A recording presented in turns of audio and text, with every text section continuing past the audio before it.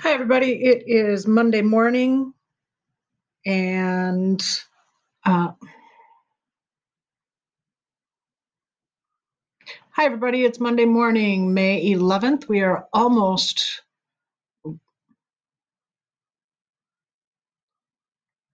Hi, everybody. It's Monday morning. We are one month away from being done and having summer vacation. Um, we're going to go over answers for problem 913, and then we will get into section 914 on choosing the best strategy. So, number one, you were given two equations. You had to say why they were or were not in standard form.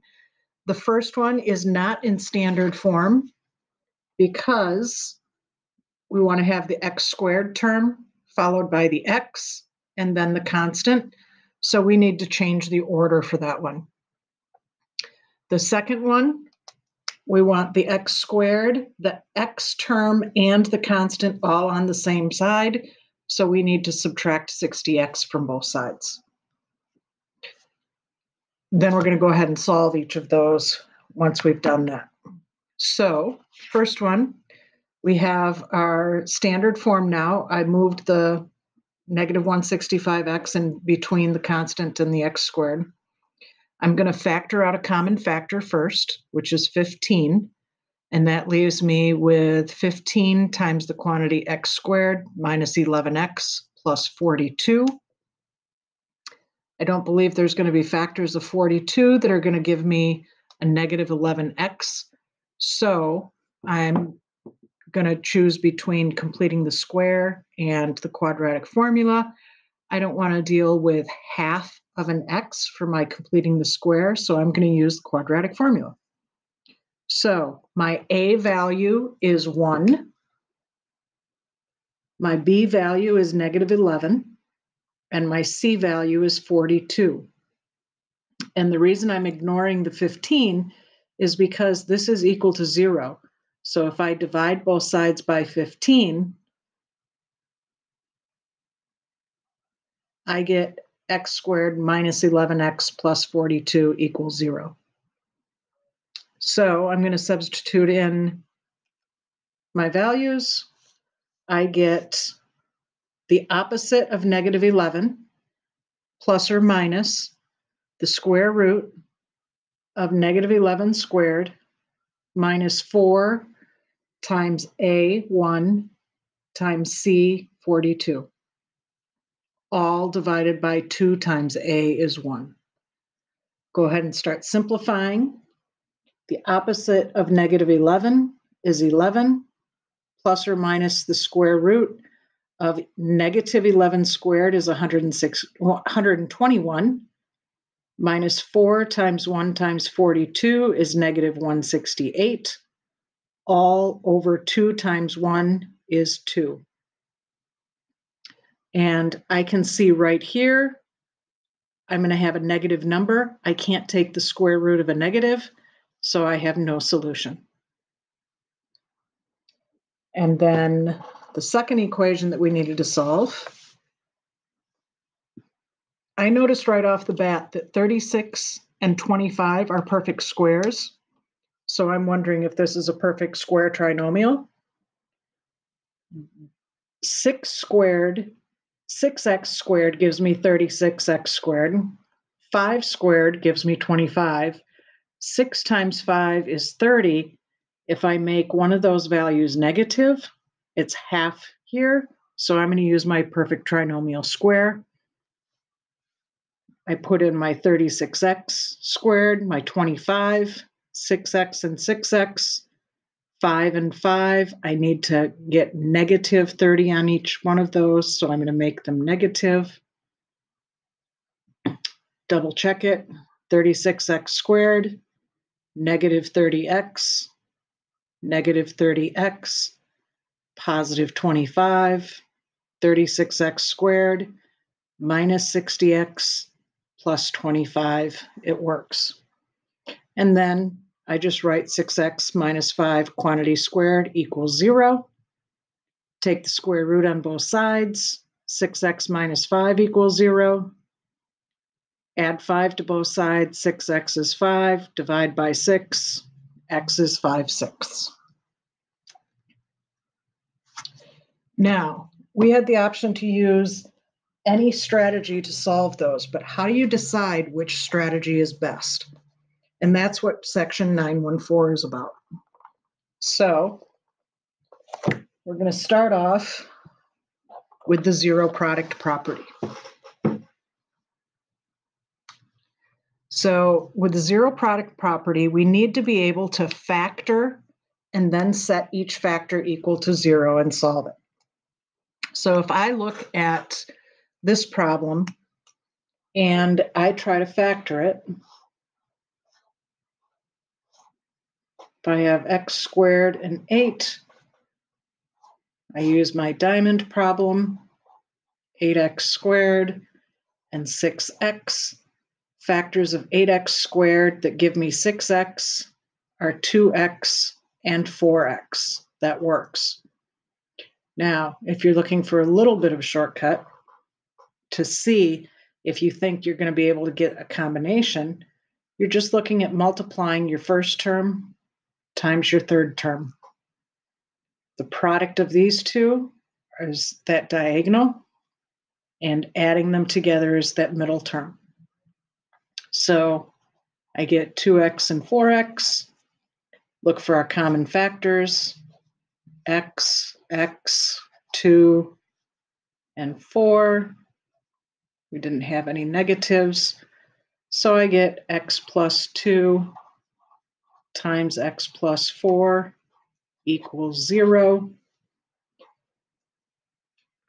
If I wasn't able to come up with a combination, then I know I got to try a different method. Now I'm going to solve this. x plus 2 is 0. So I get x is negative 2. Here, x plus 4 is 0. And I get x is negative 4. So x equals negative 2 or negative 4. When I'm looking at these numbers, trying to decide if it's going to be, be factorable, like I said, I may just look at if I multiply my first term and my third term, I can fill in that diamond problem right away. Do I think I'm going to be able to come up with a combination of factors? If I have something like this one, I know right off the bat, I don't have any factors of five that are going to give me eight x's. 5x squared, no factors are going to add up to 8x. So I know that that's not going to be a good strategy to use the zero product property. So I'm going to look if I have a coefficient of 1 on my x squared term, that makes that an easy piece to use in my perfect square. If my middle term is an even number, that makes it another easy piece to fill in in my perfect square. Then I can go ahead and complete the square. I know I have x plus 4 and x plus 4. That gives me 16 here. I had 5 I need 11 more in order to complete that square. So I'm going to add that to both sides. So x squared plus 8x plus 16 here is the same thing as x plus 4 quantity squared, which is now equal to 11. I'm going to take the square root on both sides. So I get x plus 4 equals the square root of 11, which now I can't get my computer, my calculator to come up. There we go.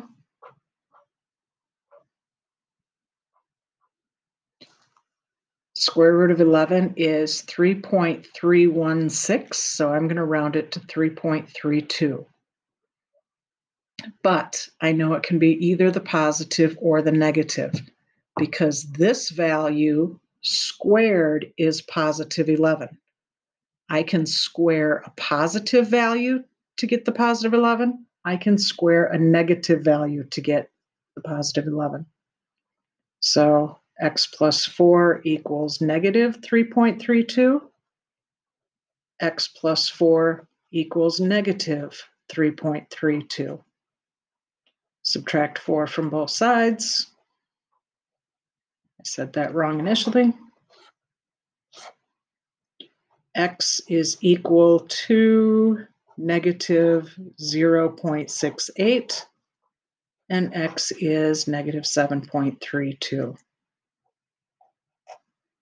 So again, if I'm looking at the original problem and I think that I can come up with an easy combination of numbers, I've got numbers that are easy to work with, easy to factor, I'm going to try zero product property to solve my equation.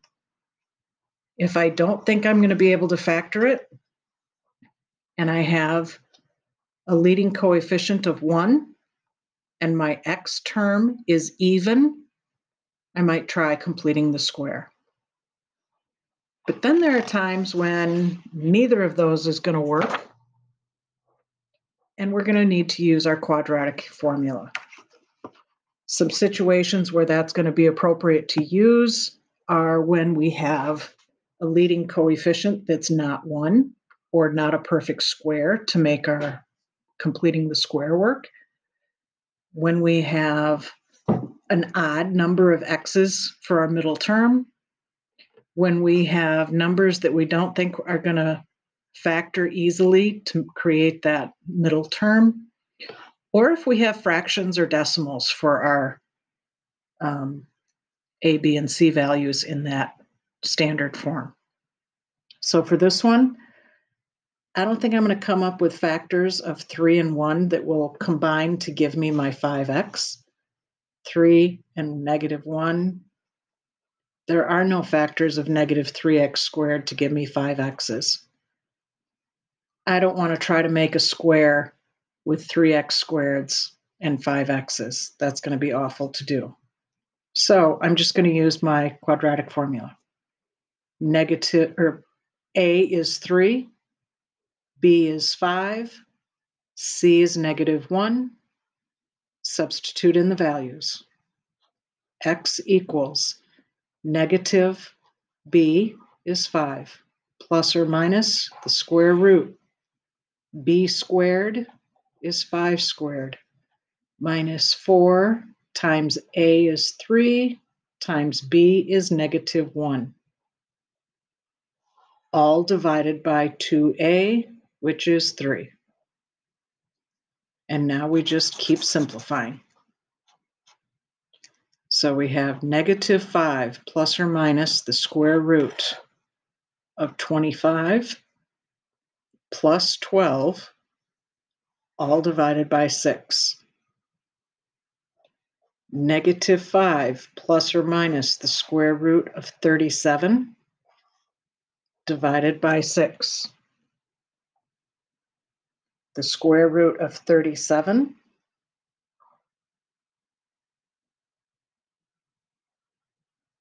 shoot, 37 square root is approximately 6.1 It's 6.08 divided by 6. And now we're going to split it into two. So negative 5 plus 6.08 is 1.08 divided by 6. And negative 5 minus 6.08 is negative 11.08 divided by 6. And again, Punch those in on your calculator, keep your life easy. 1.08 divided by 6 is 0.18, 18 hundredths. And negative 11.08 divided by 6 is negative 1.846 repeating. So I'm going to round it off to 1.8, negative 1.85. So your task, you're going to have six problems. You're going to decide which strategy do you think is the most appropriate to use for each of them. And then you're going to solve each one and just match the answers to each other. If you have questions, please make sure that you are logging in and um, talking to Mr. Copland or myself during office hours. Have a good day.